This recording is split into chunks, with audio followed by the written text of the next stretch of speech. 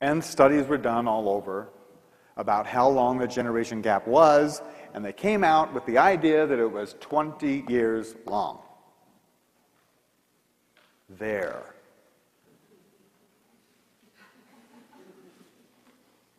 That's how much consciousness shift there is between one of these days and one of those nights.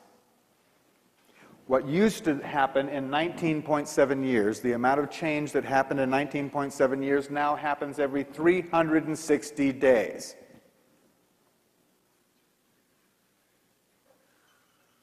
Does that answer a couple of questions? Of why you feel a little overwhelmed from time to time.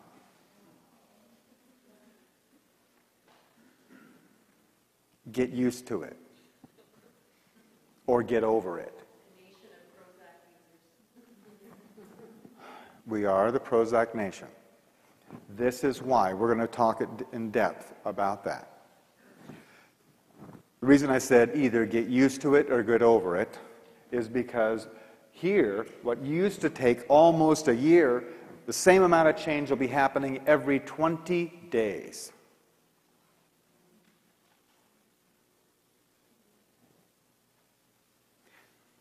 You guys, uh, some of you out there are the age where you would have gone to school for a career. You know, invested years of your life toward a particular career. Maybe you're on your third. By the time we get up into here, forget about it. Not that far away at all. This is a real situation. And this is really why we have these talks. Because without an understanding, without some plausible understanding of what it is that is happening not just to you, but to everybody, it's really difficult to handle it.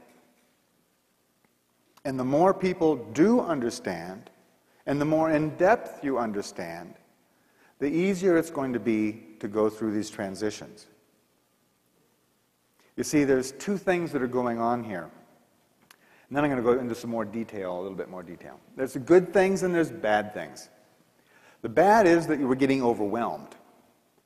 The good is that there's more and more possible to occur all the time. Things that were completely impossible, miracles, things that would never happen back here, now are your daily life, like cell phones, for instance video phones, that kind of thing. So I want to take and show you that this process, it's like a constant acceleration. I mean, a constant from here all the way through it accelerates. And then it starts accelerating from here and it goes in faster and faster and faster. But each time it's 20 times faster. What happens is, if, imagine you're in a big semi truck, sitting still in a parking lot. When you take off, you're going to take off in first gear, right? And you're going to go faster and faster and faster and faster until you're getting going as fast as you can in that gear. Then what do you do? You put in the clutch. That's this point right here. You put in the clutch, you reach for another gear, you let out the clutch, and you accelerate into that next gear. Very mechanical. I hope that that builds a good picture because what we're going to be talking about.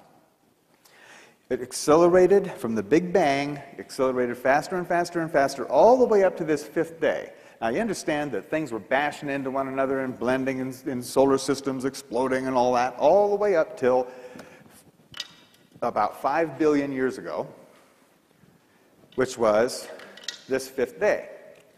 What happened then? That was the birthday of our solar system.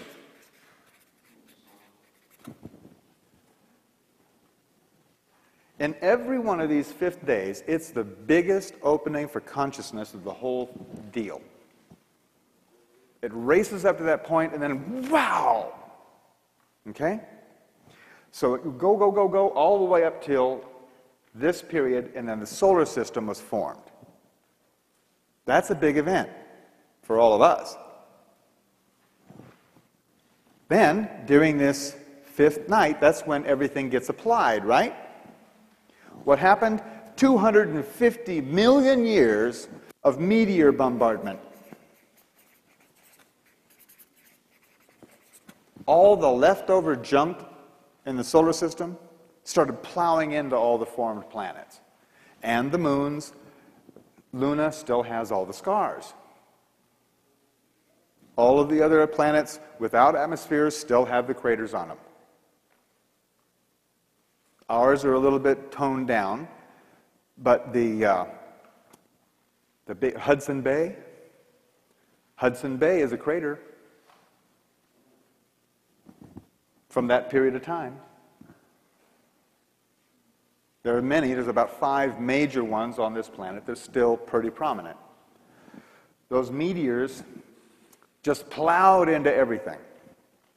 Good thing they did, too, because every drop of water on this planet came in with those comets. Every single drop. If that didn't happen, your bodies would be really small because you're like 87% water. Yes? Hi. Um, I, I've been watching some of your tapes and, uh, and previous talks, and I remember when you brought this out, I was thinking, okay, my question would be like, okay, with the book that you brought out by Dr. Calleman, is this where all of this information is coming from? I mean, I never learned that kind of thing in school. Yeah.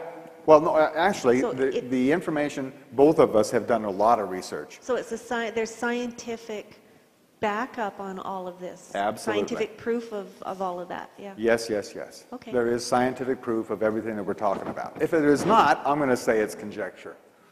Because there's, there's one coming up, as a matter of fact, a conjecture. so that's what happened. Big breakthrough and then big bombs. Okay? Then, in this cycle, this fifth day, 315 million years ago, What happened is life took a walk on the beach. Everything back here is underwater. All the development of life was underwater. In the fifth day, the animals started crawling out onto the beach. Life moved to the land. 315 million years ago. Look it up. Then, during the fifth night, 97% of all life went extinct. In the Perm-Triassic extinction period. Pow! Another one of those comets. Slammed into the earth, and 97% of all life was eradicated. The only thing left was little squiggly worms in the mud at the bottom of oceans. And it all evolved back. We have the paleontological records of all of this. Up here, in this familial section, during the fifth day, this is when life scientists conjecture that color vision was installed in mammals.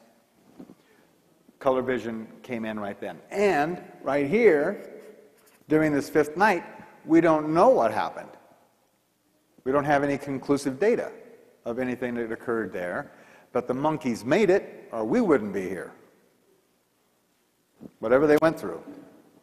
But here in the tribal cycle, this fifth day is 800,000 years ago. And something very special happened during this fifth day. Very important. Fire. It's when the Homo erectus got the consciousness of fire. All over the world, all the different places, it was sort of like the hundredth monkey syndrome. Within, like, within some 3,500, 4,000 years, everybody had the consciousness of fire during that fifth day. It's a really good thing, too, because 68,000 years ago, 680,000 years ago, we had the Ionian Ice Age.